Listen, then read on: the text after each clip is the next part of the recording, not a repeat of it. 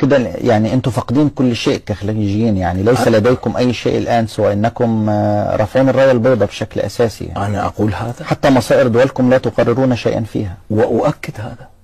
أؤكد بأن القرار الاستراتيجي اليوم ليس بيد دول مجلس التعاون الخليجي إنما بيد الولايات المتحدة والتحالف الغربي. يعني معنى ذلك أن كل ما يحدث من خطوات سياسية في المنطقة ليس نابعا من سيادة هذه الدول؟ بالأساس وفي الجوهر نعم ليس نابعا من سيادة هذه الدول. خذ مثلا خذ مثلا. نحن آه، في دول مجلس التعاون الخليجي نرغب في علاقات مع إيران. الذي يمنع دول مجلس التعاون الخليجي من هذا؟ ليس الخلاف الذي بين إيران والإمارات. حول الجزر نعم. ولكن الضغط الأمريكي ببقاء الأمر كما هو عليه. موضوع العراق العراق نحن في دول مجلس التعاون الخليجي نرغب أن تكون هناك علاقات طبيعية ولكن يصر الأمريكان على أن تبقى الأمور في العراق على ما هي عليه حتى يتوفر البديل الأمريكي داخل العراق الذي يحقق المصالح آه، الغربية في النهاية آه، في العراق. غيرت الولايات المتحدة سياستها تجاه العراق فنحن ننتظر انفراجة خليجية لكن ليس قبل ذلك. أظن ذلك. هل يمكن للولايات المتحدة أيضا أن تحقق مصالحها في مع دول الخليج بعيدا عن المصالح الإسرائيلية أو المشاركة الإسرائيلية في هذه المصالح؟ التخادم الاستراتيجي بين الصهاينة والأمريكان أصبح يعني يعني لا يحتاج لكثير ذكاء. لكي آه، آه، نصل إليه. لا ليس هناك خط فاصل اليوم بين المصالح الأمريكية في الخليج والمصالح الصهيونية في الخليج. ليس هناك. أنا أعطيك مثل. نعم. أعطيك مثل. جاءنا في الكويت عندما كنت مستشارا في مجلس الأمة الكويتي. نعم. ما بين 92 و 96 نعم. جاءنا في الكويت ثلاث وفود من الكونغرس الأمريكي. ثلاث وفود. ثلاث مرات نعم. ثلاث زيارات. وفي كل زيارة تتحدث هذه الوفود التي جاءت من الكونغرس الأمريكي ها؟ تتحدث عن موضوع توطين الفلسطينيين في دول مجلس التعاون الخليجي. بشكل واضح. بشكل واضح.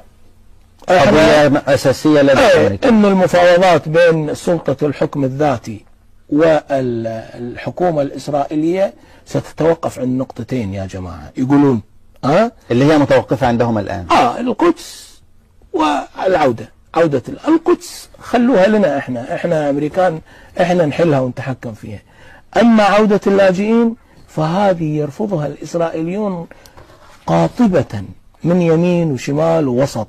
ولذلك إحنا جايينكم إحنا الأمريكان جايينكم نقول لكم وطنوا الفلسطينيين. خذوا كوتا من الفلسطينيين.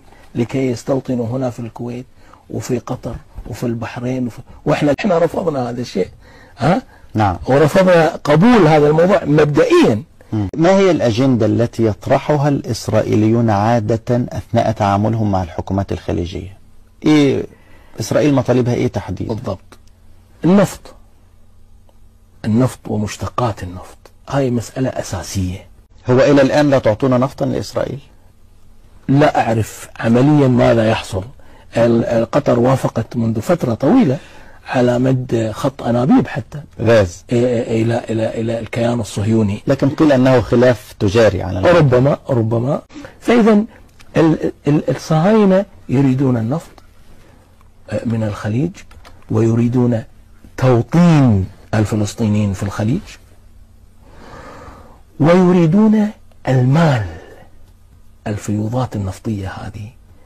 الفلسطينيين والإسرائيليين ليست سوى مسرحيات بخصوص- ليس لها بخصوص عودة اللاجئين وما. يتحدثون عنه.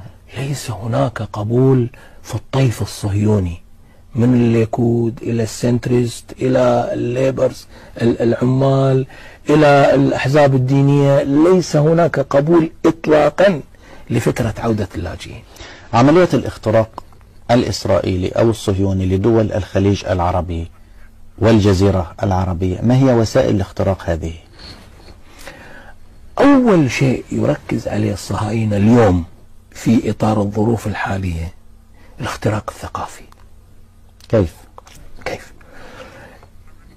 موضوع التعليم في الدول الخليجية أصبح يؤرق الصهاينة.